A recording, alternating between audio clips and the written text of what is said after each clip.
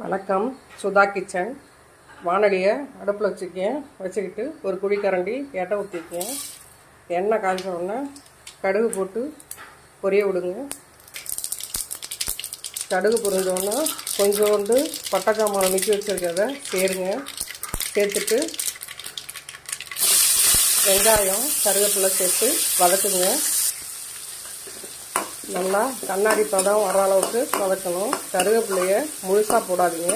எவ்வளோ சின்னதாக கிள்ளி போட முடியுமோ அவ்வளோ சின்னதாக கிள்ளி போடுங்க. அப்போ தான் தூரம் எடுத்து வெளியில் போட மாட்டாங்க சாப்பிடும் போது வெங்காயம் வதக்கினவுடனே ஒரு அஞ்சாறு பூண்டு பல்ல சின்ன சின்னதாக கட் பண்ணி வச்சுருக்கேன். சேர்த்து வதக்குவோம். பூண்டு கொஞ்சம் வதங்கின உடனே ஒரு தக்காளி பழத்தை சேர்த்து நல்லா மசிய வதக்குவோம். தக்காளி வதங்கும் போது தேவையான அளவு உப்பு சேர்த்துப்போம்.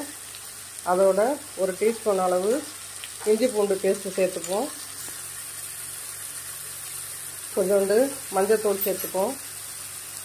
கொஞ்சம் பெருங்காயத்தூள். தேவையான அளவு காரப்பொடி.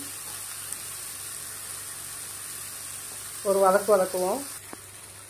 பொடியெல்லாம் போட்டு வதக்கும் போது கொஞ்சம் சிம்மில் வச்சுப்போம். இல்லைன்னா அடியில் உட்காரும். ட்ரையாக இருந்துச்சுன்னா கொஞ்சம் எண்ணெய் ஊற்றிங்க வதங்கினதுக்கப்புறம் நறுக்கி வச்சுருக்கிற சுரக்காய் அதில் சேர்த்து பெரட்டுவோம். சுரக்காய் கொஞ்சம் வதங்கினதுக்கப்புறம் ஒரு அஞ்சுலேருந்து பத்து நிமிஷம் வதக்குங்க. வதங்கினதுக்கப்புறம் கொஞ்சமாக தண்ணி ஊற்றி அதை வேக வச்சுருவோம். ஒரு மூடியை போட்டு மூடுவோம்.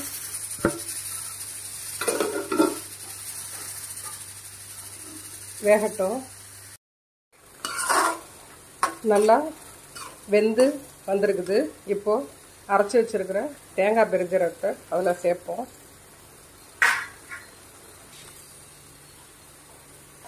சேர்த்து நல்லா கலக்கி விட்டு ஒரு தட்டு போட்டு மூடி வச்சுருவோம். இது நம்ம சாதத்துக்கு ஊற்றி சாப்பிட்லாம். கறி குழம்பு சுவையில் இருக்கும். இதே கொஞ்சம் திக்காக வச்சுக்கிட்டால் தொட்டுக்கையாகவும் வச்சுக்கலாம். சாம்பார் ரசம் அந்த மாதிரி உள்ள சாப்பாட்டுங்களுக்கு தொட்டுக்கையாகவும் வச்சுக்கலாம். இப்போ நான் சாதத்துக்கு கிரேவி மாதிரி வச்சுருக்கேன். இதை ஒரு தட்டு போட்டு மூடி எண்ணெய் பிரிஞ்சு வர அளவுக்கு கொதிக்க விடுவோம்.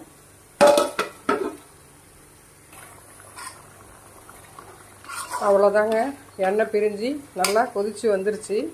இறக்க போகிற நேரத்தில் கொத்தமல்லி தலை துவிக்கிங்க. என்கிட்ட இருந்தது இவ்வளோ தான் சுவையான எளிமையான சுரக்காய் கறிக்குழம்பு சுவையில் தயார். நீங்களும் செஞ்சு பாருங்கள் டேஸ்ட் எப்படி இருக்குன்னு சொல்லுங்கள் உங்கள் ஃப்ரெண்ட்ஸுங்களுக்கு ஷேர் பண்ணுங்கள் எனக்கு லைக் பண்ணுங்கள் சப்ஸ்கிரைப் பண்ணுங்கள் பெல் பட்டனை கிளிக் பண்ணிக்கங்க. நன்றி. வணக்கம்.